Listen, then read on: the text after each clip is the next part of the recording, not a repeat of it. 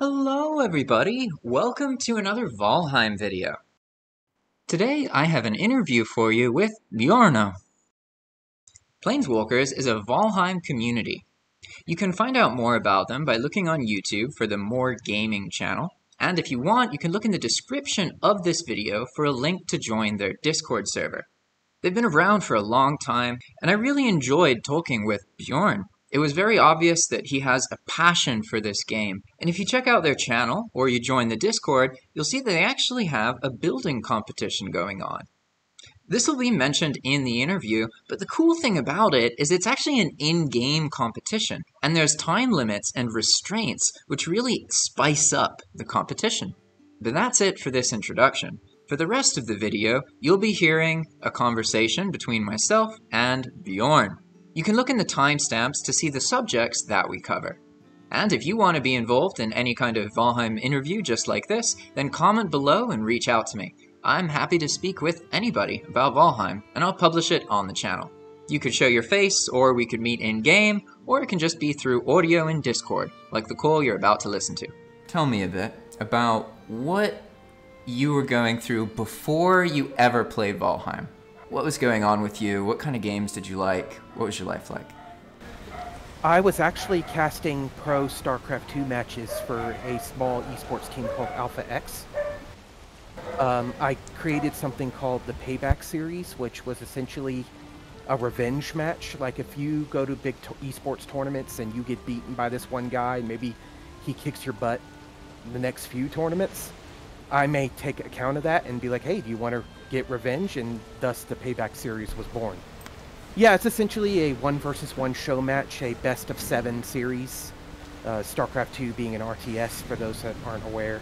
So usually uh, RTSs can get pretty. Uh, if you if you don't want your opponent to win, you will do everything in your power to make it their life a living hell.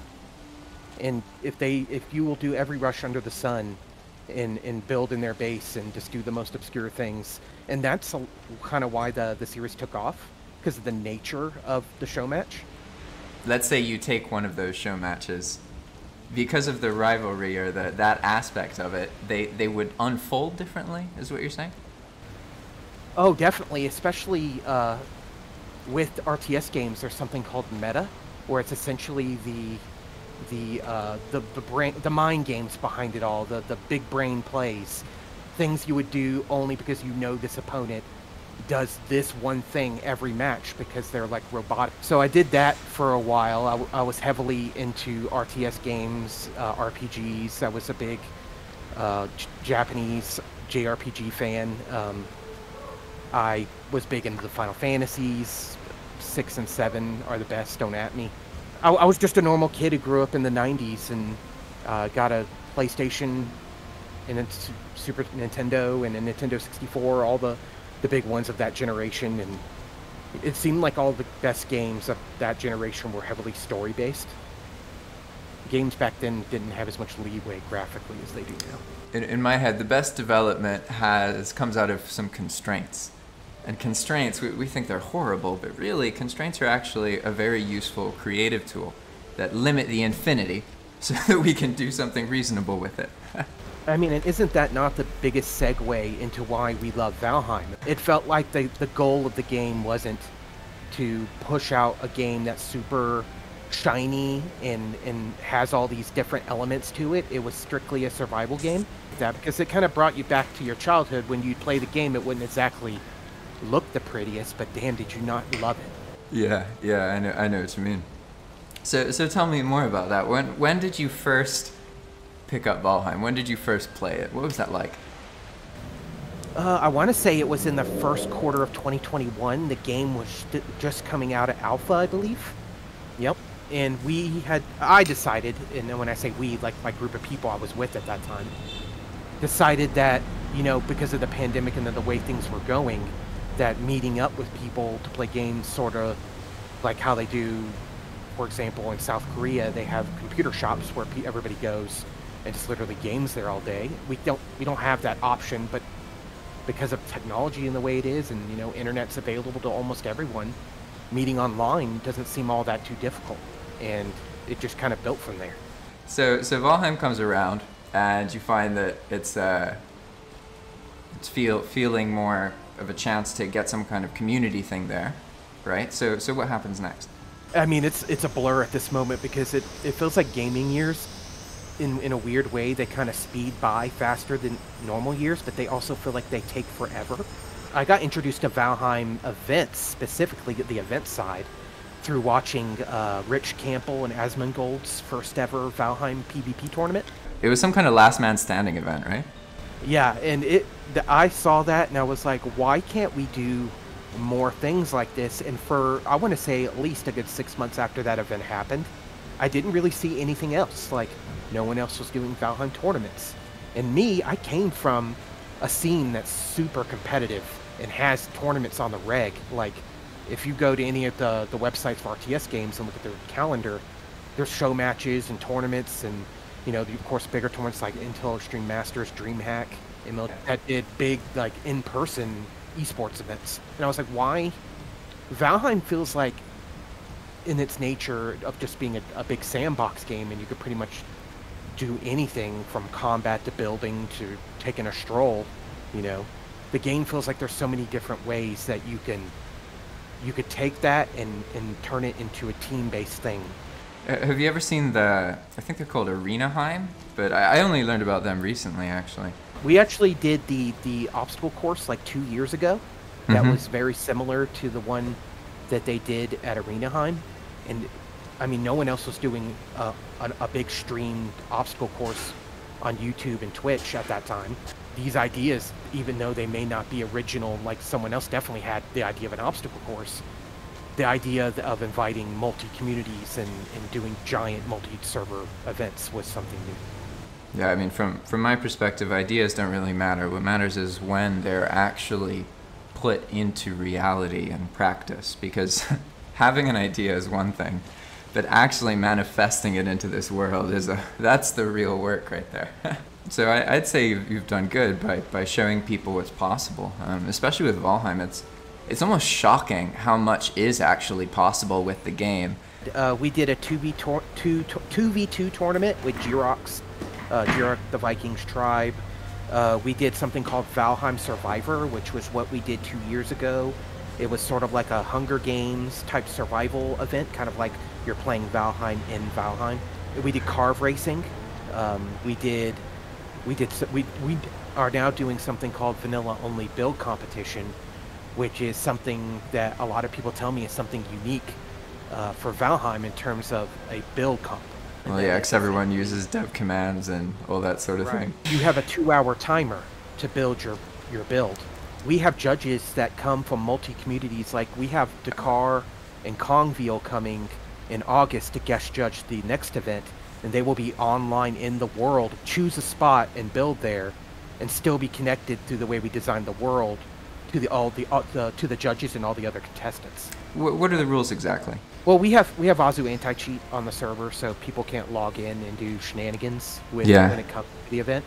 We also have a strict uh, nomenclature that we use for all new characters that come to the event. So we don't release the prefix of the character names until the date literally like the event's about to start and people are about to log in. Yeah, nice, nice, nice. You have to have VOBC 2024 dash before your character name to verify that you created a new character. And then, of course, they have the two hour time limit to build. They have uh, passive enemies. They have free builds, so they can build whatever they want from the vanilla game. And in one hour, they take a short break, and then the next hour, they build and finish up their the what's what's needed interior wise, etc. And then the judges go to town and we have a scoring system, you know, 10 points for creativity, 10 points for technique, 10 points for functionality, and then we do a community vote where we put a big poll in our Discord and people literally, even if you're just chilling in the voice chat, you get to make a make a vote. And the community vote definitely impacts it. It gives the, the winner of that 10 points. Yeah, and that, that's the like an interaction too.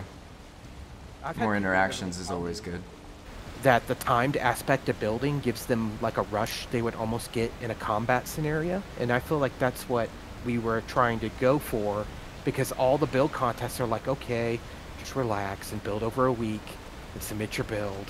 And we're like, I mean, that is cool and everything. And it's not as exciting exciting community wise to be a co-participant in. Uh, when you seeing that there's 15 minutes left on the timer and the guy on the stream is having trouble finishing his roof. Yeah, that's a lovely depth to it. I, I love that. That's that's a, a great angle. And and we started like all this stuff like we did things that not other many others have done and I don't want I didn't come on here to toot my own horn, but it kind of just gives background to like why uh, we're we're at where we're at now. And when we first started and we started doing the big events, I'm not sure if you're familiar with Body Recovery Squad, but they were blowing up at that time. They had hats and T-shirts, and there was like 50,000 people in their Discord, and people were opening like thousands of tickets to get their bodies recovered. And they had a website on PC Gamer. They had an article, sorry, on PC Gamer about them, and they were huge. And BRS and us decided to partner, and we at one point were a division of the Body Recovery Squad. Ah, that's so cool. I don't know too much about their history, but I do remember that. I remember seeing that the people who were actually playing with the most other Valheimers were people who were helping them like get their bodies. Like I remember looking at the Discord and seeing there were loads of people and they'd die and then be like help and then so so the people who came to help are these people you're describing. So we ended up getting two corporate sponsors from that deal. We ended up partnering with NorthSpirit.com, which was a an up and coming Viking memorabilia website. Uh, Yeah. It was online only, and I think they had a physical store in the UK. Uh, and we partnered with uh, GameHo.io, which was a server host website. And we, I never in my life did I think at one point we would have corporate sponsors paying us to do events. And at one point we were giving out $100 per event to winners. And I know for sure that other other discords and other communities weren't doing that because I had people specifically who joined us for these events from these multi communities, like I was talking about before, that told me that they weren't doing that. So we we held on to that shtick and we definitely pushed it as hard as we could. Uh, we don't have both corporate sponsors anymore. We just have one, but I'm still really happy with where we ended up from all that. Yeah, I mean that's uh, that's fascinating. It's really cool to learn about this stuff. So throughout that process, we made we made some friends, let's just say, and people like, uh, and I'm gonna give them a shout out right now: Emma T. Potato, Kaizen, Jirok, JJ the Builder. Uh, so many amazing people that joined us multiple times for events, and because of that, it kind of segues way into what I wanted to talk about next. Was that I got invited, I got us and Plainswalkers invited to this almost like round table type deal where literally the other people in the Discord are people that have up of like 500k followers on YouTube. In Mhm. our me- meager little channel, you know, we while we don't really care about followers or subscribers, we really don't. We more care about our people showing up to our events in our in our community. And while that still happens, you know, people will, will just look and briefly scan. Oh, they only have 120 s- subscribers on Twitch or something. Ah, yeah, yeah. All this off, but we've done two events with Jonathan from Iron Gate. We've done a car race with Grim. We've done at least a dozen events with big profile community members in this game. And uh, while we may not have the, the accolades on socials yet, we're working to get there. Ah, even so, honestly, there's a chance that Valheim will never again be that popular. I, I love the game, don't get me wrong. Um, but even the fact that you still have one of those sponsors, that sort of thing, after how how Valheim's playership has been, um, that's quite impressive. Like that's a that's a really cool thing. So I, I wouldn't worry too much about that, just because it's just numbers. And at the end of the day, all it takes is getting um, like if you're if you're managing the plainswalker stuff that way then if you were to focus so much on the numbers it would take away the experience that makes the community thing what it is the point as a community manager can't be to focus on that so much so what needs to happen is like you mentioned getting in relationships with content creators and streamers who have a big enough audience that they can bring you some traffic so that's not something I am on YouTube. All of my subscribers are dead subscribers. I only have like a thousand people interested in my Valheim content, but it is uh, a food for thought, let's say. I've already come to the decision that no matter where we end up on the follower scale, that we have enough accomplishments now I, that I'm happy with what we have done. And never tell my group that we are looking to get followers out of this. It's always just to get the word out. If people in other communities are talking about our build contests next week and are hyped about it, then I'm happy that it provides someone a little bit of comfort in a time, you know, where it doesn't feel that way. So, so let's say someone listening to this wants to join the contest or watch it. How do they go about doing that? The only thing you would need to do to join the build competition is literally just join our Discord. Uh, you can get that link from the official Valheim Discord in the LFG section. You can also get our link at the top of our X page at More Gaming Team, all one word. And once you hit Discord, you just click the RSVP button in the events, and literally our admins will will reach out and help you make sure you get logged in and you get the right mod pack. Because of course uh, it is a vanilla build comp, but there are certain mods we had to use to keep it that way. I'm sure you understand. The back end of the game, uh, we had to use Az- Azu anti-cheat and server characters to make sure people stayed honest. From anywhere, they could just click the link on Twitter and join the group tomorrow, and we wouldn't vet them in any way, and they could join the event tomorrow. Yeah, no, you're, you're doing it the right way, definitely. So, so I see there's this more gaming channel on YouTube. So can they go here to then find the Plainswalker link to Discord? Uh, all of our, if you look at any of our recently uploaded videos, in fact, I just posted a video last night for the build competition that announced a car and Kong as the judges. Um, and at the in the description under that link, there is a join us link where you can just click it. Awesome. So if you are watching this, all you have to do, if you want to check out some of these competitions or look at what they're doing, then just go to the description and this in the top of the description of this video, you'll find a link to a Discord channel. And once you join that Discord channel, you get everything you need. And I just want to say that all of what I just discussed leads up to something ultra awesome that I just kind of want to give the community a quick peek into. That roundtable that I mentioned there is talk of a Valcon convention happening digitally at the end of this year and possibly in person in Sweden in Stockholm next year. Oh, so that'd be cool. People want or interested in that, please support all the content creators that come forward and do the, the Valcon digital convention at the end of this year. People like Gwen the Shield Maiden, people like Kaizen, uh, people like Plainswalkers. Please come and support them, and if the event does good, then we can impress Iron Gate and get their approval to do an in-person one next year. Let's see. So, so now that we know a bit more about that, I want to ask you about what was it like for you? You load Valheim up for the first time. You have no understanding of what the game is, and then when you're actually starting to do that communal stuff, was that like immediate? You hit the ground and you were playing with the community, or did you have like a, a solo experience and then decide, okay, this is worth involving the community? Could you get more into what that was like for you? So I, I was spoiled. I started the game not with a, a, community, but with just a couple friends that wanted to play the game. So basically, we all joined in a small group of three of us, and and played through what at the time was Plains was the end of the game. It yeah. just released at that time. Um, and then after that, I was like, I really want to continue playing this. But it, and this seems like to be the case with a lot of people, but my friends did not. Uh, they had moved on to other games. And I kept playing Valheim, and I wanted people to play with.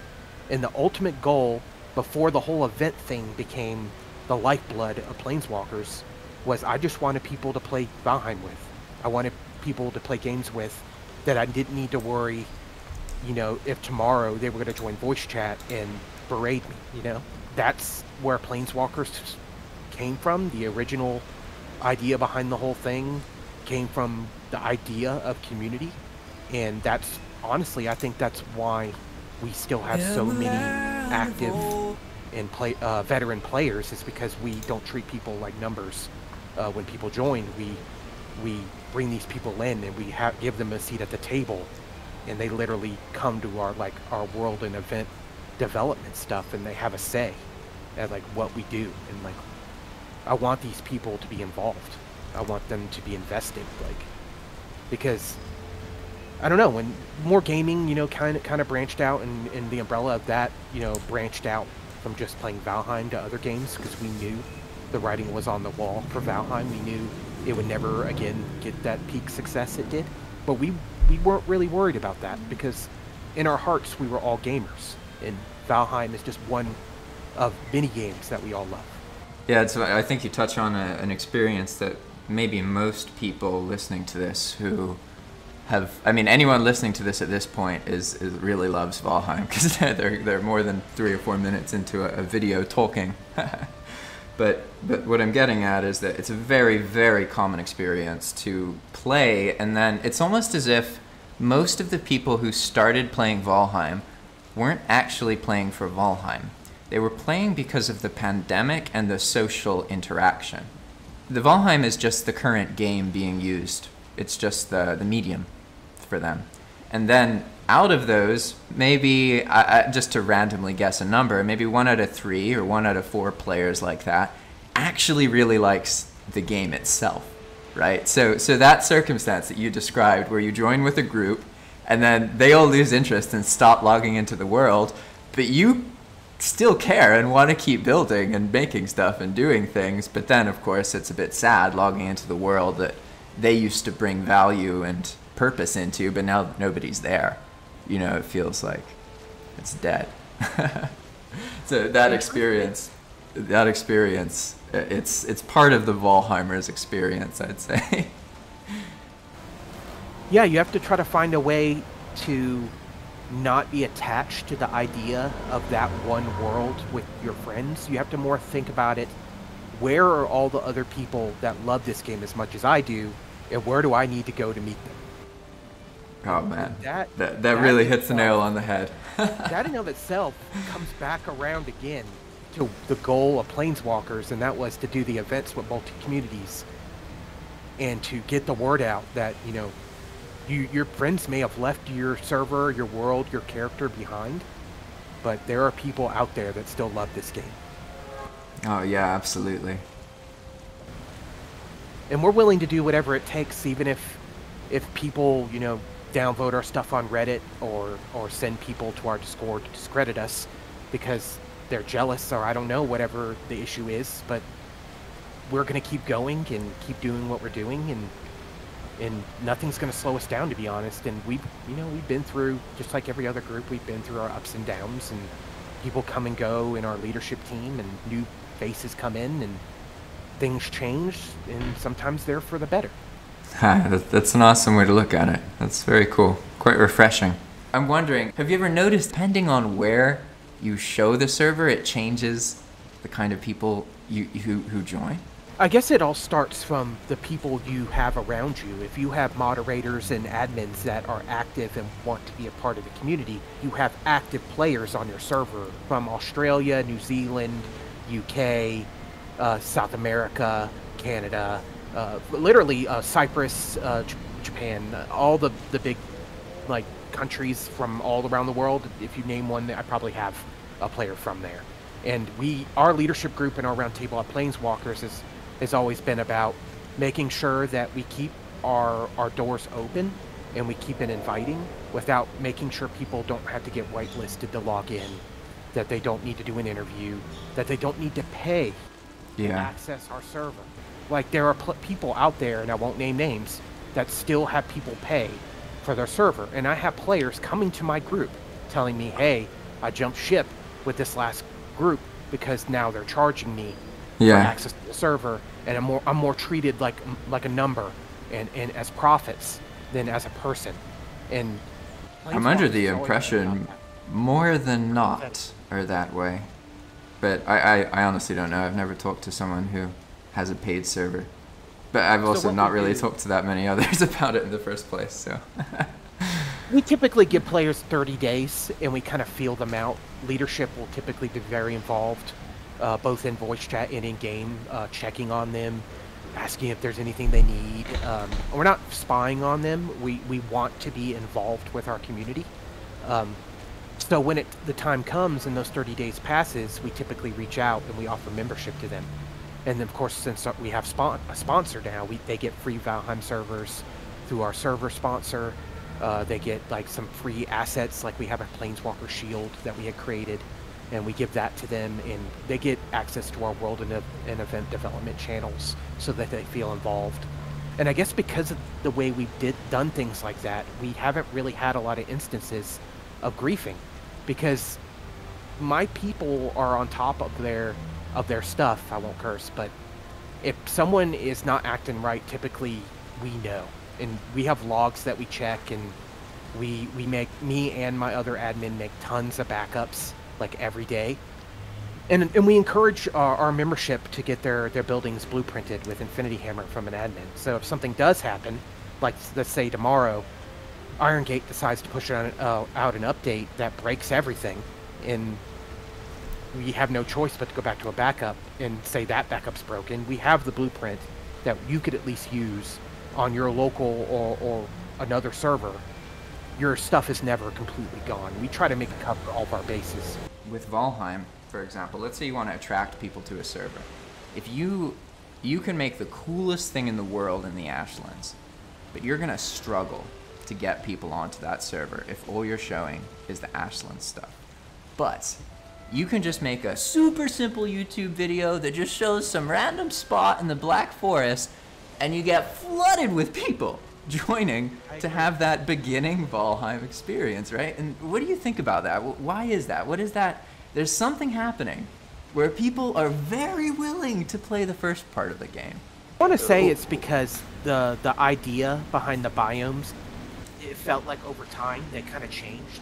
Because as as Iron Gate was working on the game as it's in development. You know, the, the Meadows boss, how Eikthyr spawned from an altar. He's outside in the individual world. The same thing goes for Elder. Uh, the same thing goes for Bonemass. Um, but then Queen is in her own sanctum, which honestly was a great idea.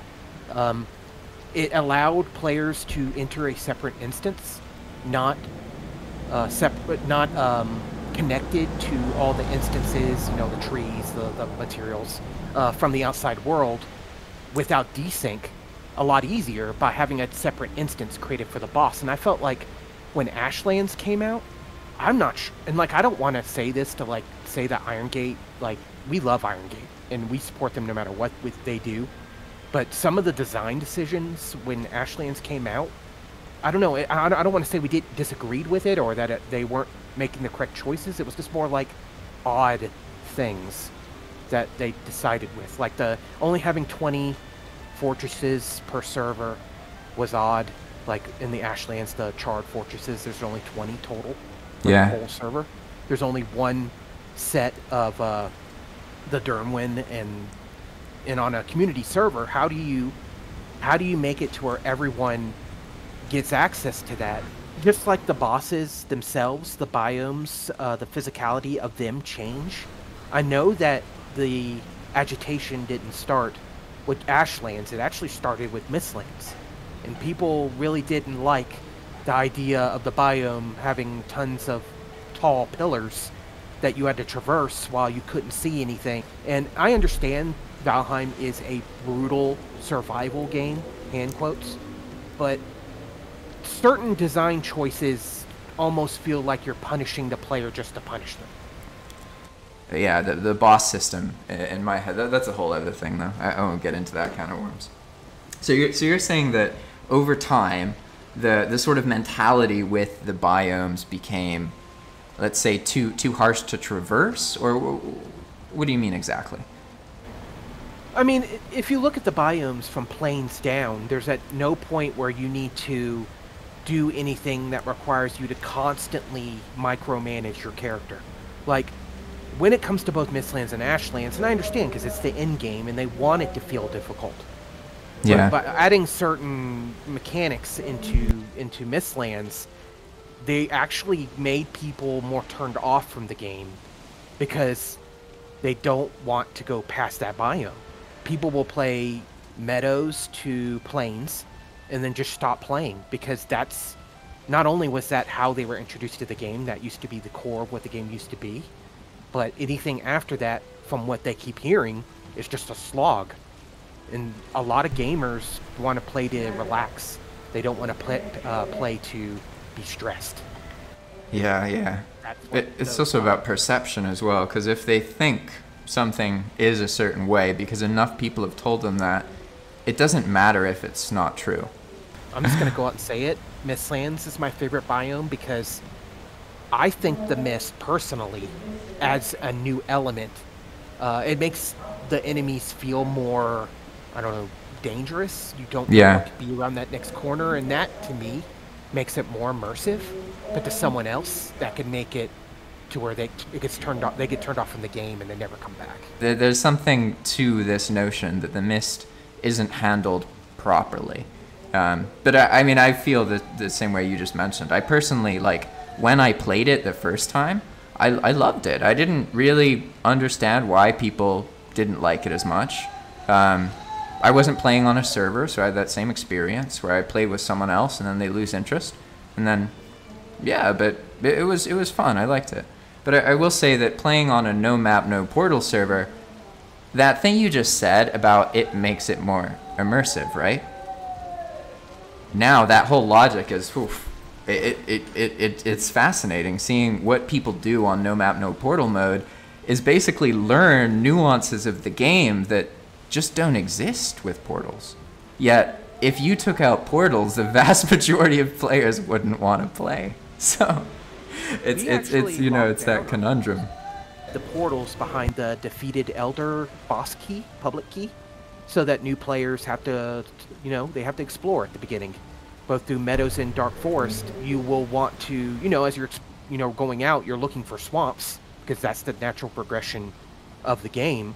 Um, you can get cores and fine wood and eyes before then and get portals, but we personally thought that ruins the enjoyment of the exploration at the beginning of the game.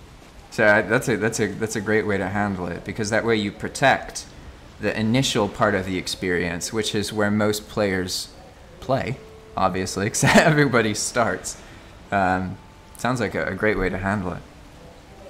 We we use the uh, Venture Valheim progression mod. Uh, to give them a shout out, they they produce excellent mods, uh, and through that we allowed players to basically have their own individual progression, while veteran players can still do what they want to do, essentially satisfying both both groups. Yeah, It's hard to do uh, when you have I don't know half your population is grizzled veterans and half the population is people who you know maybe log in once a week. yeah, or or just brand new players. It's uh that that's actually a it's it's good you bring that up because from the game dev perspective, that's like the holy grail right there. If you can figure out how to give players who play for an hour a week a way to interact positively with players who play for eight hours a day, that's the the source of most conflict that I've observed in like MMOs and guilds and games is the reality that we're all supposed to enter this world equally, which is bullshit because the reality is some of us have more time than others. And those of us who have the most time have the most advantage. It's not a fair circumstance, right? But I, I also had just as much trouble with lag, and, and it's kind of sad because Valheim is such a cooperative, incredible building adventure. So it's it's kind of a glaring issue, isn't it? That when people come to build together, the game becomes unplayable.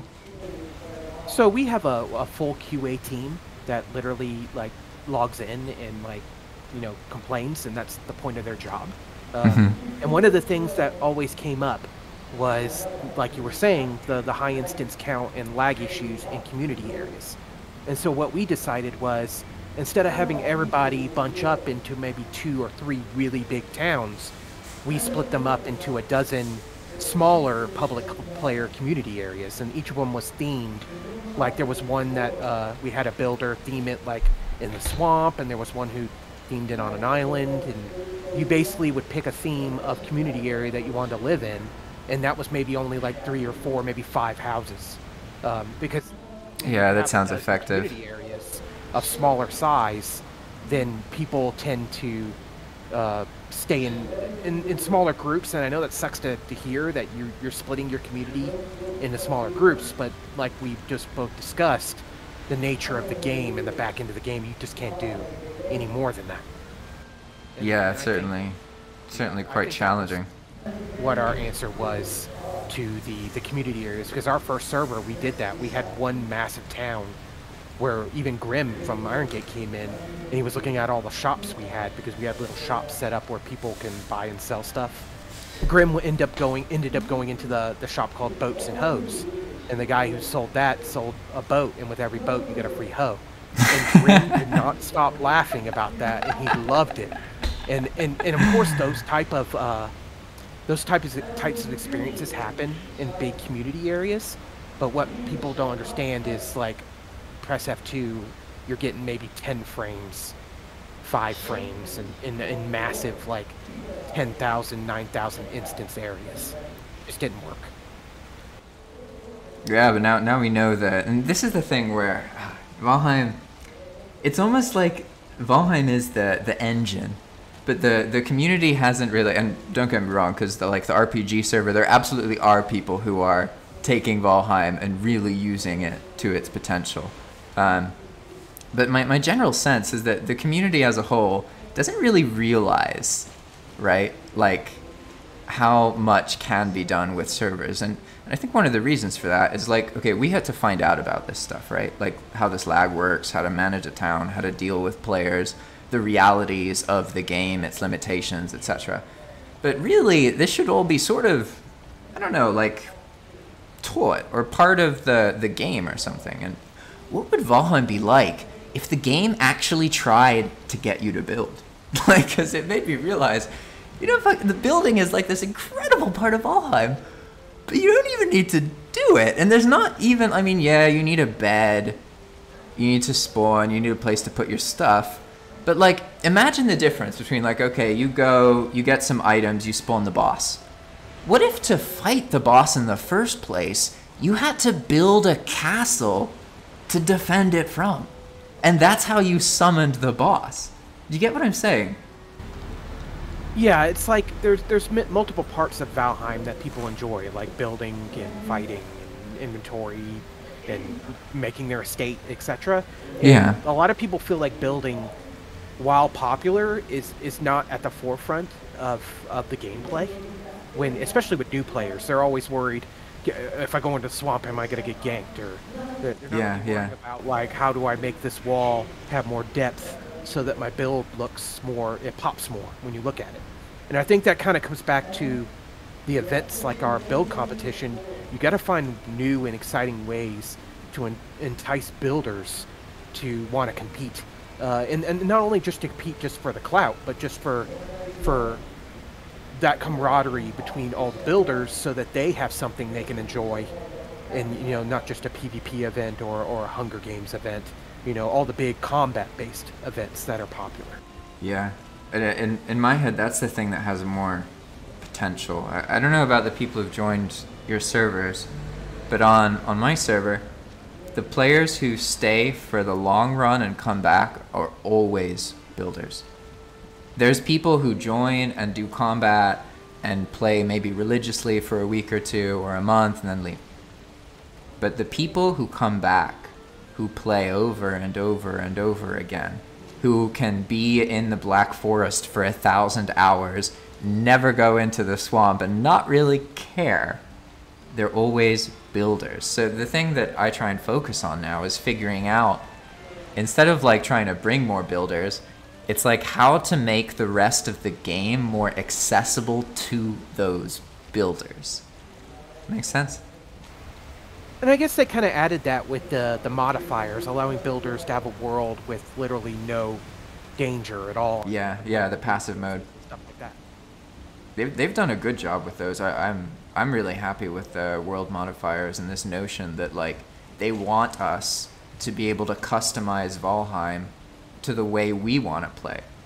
And that, as a developer, is- it's a rare mentality, to be honest. Um, usually, developers are like very much like this is the way you're supposed to play, and if you don't play it this way, grr. I have to agree with that. Lots of gatekeepers say that you know if it's not vanilla, then it's not Valheim. But in my opinion, there is no wrong way to play Valheim because the game Yeah. is a sandbox game, and you have freedom of choice and to go wherever you want. I don't honestly think there is a wrong way to play it besides maybe griefing But other than that, if you're playing to have fun and you just want to join other players in a community-centered uh, experience, then yeah, I, I, def- I definitely agree that a lot of people spend more time over what everyone else is playing and, and not paying attention to are they enjoying the core experience of Valheim. And honestly, Valheim is a blank canvas. it, it is completely open no matter what you want to do. It could probably be, be fulfilled either through your own actions or through join, joining a modders group and reaching out for a commission. Yeah, I mean, even, and with Expand World prefabs, you don't even need a, like, okay, making a mod for Valheim, you need to know a little bit about programming. Whereas with Expand World prefabs, you literally don't. You can just, it's like, uh, you basically just put a short little script on the server and then it alters things. So like the script has to work right and it has to be high quality, you know, so that the person who made it like play tested it and thought of like, okay, what if the player tries to grief it or does this or whatever. But aside from that, it's it's really next level stuff. So one of the things I'm trying to do now is get people more aware of uh, expand world prefabs and the the options that it gives them. Probably start ending this now. Is there anything you want to cover before that? Um, we can talk again about like plainswalkers and people how people can reach your reach your page and everything. Or if there's anything else you want to bring up, just let me know. Yep, so just to, to reiterate, uh, the Plainswalkers are a Valheim clan uh, under the More Gaming Hub umbrella, which is our Discord community. We play Helldivers, we play Valheim, we play Fallout 76, like you name it, it probably has a group of people playing it. So if you are looking to join us, you're going to want to look for more gaming. So that's going to be on X, More Gaming Team. On Twitch, also, I believe it's also More Gaming Team on one word. And on YouTube, you could just Google More Gaming and Plainswalkers or Plainswalkers Valheim, anything like that, and you'll most likely find some of our videos. And we also have a, a raid that we're releasing uh, before the summer is up with a custom boss that will before he's defeated, the entire world will remain night, and there's a new raid. Uh, uh, until you uh, beat the Dark Tower, which is a multi-floor raid, and defeat the boss, the, the world will remain night, and it will suck for everyone. You know, it, it's the thing where you're like, hey, the world's going to be night. We need to do something about it. So all the players are going to get together and try to beat this boss, and it's going to be a cool community event. Yeah, that sounds awesome. All right, then. Thanks for watching, everybody. And remember, if you're interested in being interviewed or you have anybody who you think should be interviewed, then just reach out to me. I'm happy to talk to anybody who's willing. Uh, you don't have to show your face. You can. We could do it in Valheim. We could do it just like an audio call like this one. Whatever you're more comfortable with. Just comment or you can send an email to me at Jack Pitman That's J A C K P I T M A N at gmail.com. Sometimes that goes into spam, so the most effective way is to just comment below so that I can reach out to you directly. Thanks for watching, everybody, and we'll see you in the next video. Bye! Bye, everybody.